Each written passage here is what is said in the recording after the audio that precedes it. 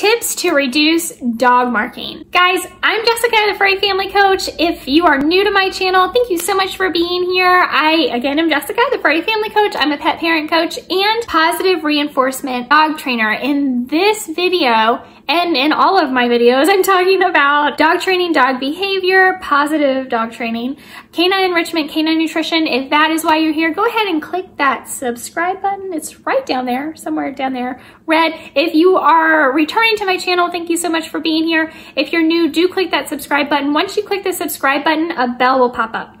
And when that bell pops up, click all notifications. That way, YouTube can notify you every time I post a new video. So let's get right into this video, tips to stop marking behavior in dogs. So this is actually the second video in the series. There's another video, I will link it below, about how to determine the difference between if your dog is urinating, trying to like empty their bladder, or if they're marking, because it is very important to distinguish between the two before you start a treatment plan because there are two vastly different things you need to do depending on what your dog is actually doing. If your dog is trying to eliminate the their bladder, then we're talking about potty training. If your dog is marking, um, which is not trying to eliminate their bladder, but there are actually a few different reasons, which I discuss in that video, I, I keep going this way, but it's down in the description, the link to that video. Check that video out and then come back to this video. So let's talk about some tips to reduce marking behavior in your dog if you have determined um, that your dog is in fact marking. So it's important to understand that in dogs, marking behavior is completely normal. Of course, we don't like it, but it is completely normal. So these are unique odors that your dog is giving off that contain pheromones. So they're like a doggy fingerprint basically. So if you have determined that you do have a dog that is marking, of course you want to figure out any way you can to stop the behavior or at least drastically reduce the behavior. The very first thing you're gonna wanna do is employ behavioral training to stop the marking. What does that mean? What do I mean by behavioral training? So what we wanna do is teach our dog that is marking the areas where it is okay to mark and then the areas that it's not okay to mark. One of the things that you learn when training dogs is that dogs have really natural behaviors, innate behaviors in them. And every dog is different, obviously, and we treat each dog differently because they are all different. However, when your dog is doing something that is very natural to them, the best way to train is not to try to completely remove the behavior, but to tame the behavior and work that behavior in a way that is manageable in your life, in your dog's life. So for instance, if we have a dog that's digging and you don't want your dog to be digging, well, obviously you don't want him digging up your flower beds and things like that. So we train and we, we reinforce the behavior to dig in a certain area that has been set up for your dog where they can get all of that natural instinct and energy out and let them dig in an area that is okay for them to dig while discouraging behavior in our flower beds and other areas we don't want them digging. The very same thing is true when we talk about marking behavior in dogs. So what we wanna do is discourage marking in areas where they should not be marking, which is inside the house, anywhere inside the house, and redirect to an area where it is okay for them to mark. For instance, maybe you have a section in your backyard or your front yard, or even just going down the street for walks. Maybe you have certain areas where it is going to be okay for them to use their marking behavior without harming anything inside of your home. So you actually want to train using positive reinforcement, discourage marking in the areas you don't want them marking, and encourage it in areas where it is okay for them to do so. Second tip is, and I talk about this in pretty much every dog training video I have ever done because it is the one of the most important things for every person with a dog to learn, do not punish. Anytime you punish your dog, you are going to wind up with an effect that is the exact opposite of what you are hoping for. You are not going to suppress any behavior using punishment. You're only going to exacerbate the problem. Not only the problem itself, but in the trust that your dog has for you, your dog is going to be less likely to trust you, less likely to listen to you, less likely to follow your lead because they don't trust you. So absolutely 100% without a doubt, no matter what problem you're dealing with with your dog, do not, do not punish your dog. So if, what do we do instead, right? We need to use positive reinforcement, be patient. Even if you're saying, okay, my dog can mark outside be very specific. Choose certain areas that you take your dog to. That way, in your dog's mind, they cannot do it here. They're not supposed to do it here. It is okay to do it here. Don't just open up the whole outside, even though you know for the most part it's going to be okay.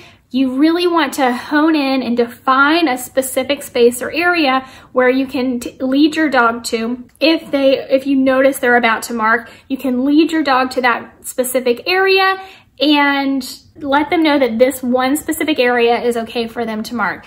And we use positive reinforcement when they do, meaning we reward it when they mark in that one certain area that it is okay for them to mark and discourage marking in the other areas. Third thing you can do is to put your dog, put their harness on, attach their leash and take them for a walk. This is going to be especially, especially great for dogs who are territorial markers. So what they can do instead of marking inside of your home, on their walk, they can stop and mark all kinds of different things along the path of their walk, and they'll be less likely to mark inside of your home. Fourth thing you can do is manage their environment. So if you really have a problem with a dog marking in your home, you don't want to give them free rein of your home because you want to be able to monitor their behavior. You want to be able to pinpoint when you see that they're going getting ready to mark so that you can intervene and take them out to that specific spot that you have selected to allow them to mark on.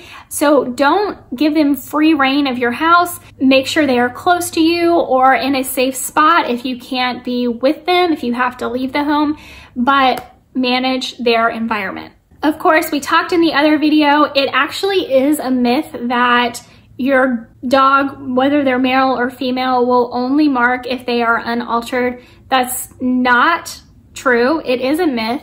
Um, there are appropriate and inappropriate times to spay or neuter an animal, and I am a very big advocate for putting the dog's medical needs first. So uh, you may want to wait until they are fully grown. For a large dog, that could actually be up to two years of age. Um, you want to make sure all of all of their bones have grown together and they are completely, uh, you know, all physiologically, they're an adult. There are also alternatives to a traditional spay and neuter that are easier on the body and you can discuss those with your veterinarian, but it is one of the things that can help with marking behavior. Number six, if you have already implemented everything we've talked about in this video, belly bands can be one of your best friends. They are not a crutch, however. In fact, I have talked to multiple people who have put belly bands on their dogs and it has made them lazy and they won't even go out and potty because they know that they've got the belly band on. They can go right in there, no big deal, no muss, no fuss. So I would really limit the use of a belly band, but it is an option in extreme cases. Another tip that you're gonna really wanna implement, and this goes for marking, it goes for um, mistakes in potty training, any and everything. Use an in, use a cleaner with enzymes to actually break down the urine in your fabrics because you want to make sure that there is no trace of pheromones uh, any type of odors and even things that you may not be able to smell, your dogs can smell. So use a cleaner with enzymes and I'll put a link in the description below to one of my favorites. It's uh, Nature's Miracle and really, really do a great job cleaning up any area where your pet has urinated or marked. Uh, the eighth tip, I know I'm not numbering all of these, sorry guys, but we're on our eighth tip. Address any separation anxiety issues that your dog may have. So if your dog is marking when you leave the home, it could be a sign of separation anxiety. And we talked about that in the first part of this video series Uh, separation anxiety is very serious, is something you don't want to take lightly and you do want to act on. I have another video on my channel talking about how to help your dog manage with separation anxiety and I will link that below as well. So if you do feel like your dog is experiencing separation anxiety, definitely check out that video, get some tips and tricks and start working to help relieve the anxiety your dog may be having. The ninth tip is to keep other animals out of your yard, especially if you have a territorial marker, they are going to be really, they are really gonna wanna mark over any other animal's scent. So the more you can keep other animals out of your home and out of your yard, the better it will be for your dog. Um, and it should go without saying in this video because I definitely mentioned it in the first video in the series, but definitely discuss any inappropriate urination with your veterinarian because there could be any number of medical conditions that could be causing your dog to urinate inappropriately in your home, whether it is toileting or whether it is marking, there could be a medical condition underlying the behavior that is happening. So you definitely want to discuss that with your veterinarian. And last but not least, Patience is going to be your best friend. I talk about patience. It's one of my seven canine commandments, uh, but that are in my book, which you can grab a copy of my book. Also, I, the link is in the description. Seven miracle steps to train your dog. Again, the link is in the description. Grab your copy of the book. I talk a lot about patience because it is one of the seven canine commandments that I teach to all of my in-home clients. Uh, it is very, it is the foundation of training that I teach to all of my in-home clients before we move on to anything else. So do grab your copy of the book. Um, and that is gonna wrap up the tips for how to deal with marking in a dog. So let me know, post in the comments. First of all, if you like this video, give it a thumbs up, but go ahead and post in the comments if any of these tips um, rang a bell with you. If you're like, I can do that. I can do that. Let's get on this right now. Post in the comments. Let me know. Let me know what issues you're having with your dog. If you have any questions outside of the subject matter of this video, post them below as well because I could just make my next video to answer your question. I'd love to hear from you guys, so do post in the comments below. Also join my group. That way we can actually have a discussion and help you and your dog. The link is in the description below for my group. Go ahead and join it. And Thank you so much for being here. If you haven't already, hit that subscribe button. Give this video a big thumbs up. Thank you so much for being here and I will see you in the next video. Hey, thanks for watching. Make sure to give this video a thumbs up and subscribe to my channel so you never miss another video.